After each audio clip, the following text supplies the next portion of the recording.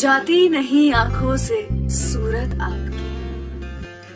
जाती नहीं आँखों से सूरत आपकी। जाती नहीं दिल से मोहब्बत आपकी। जाती नहीं दिल से मोहब्बत आपकी। महसूस ये होता है जीने के लिए।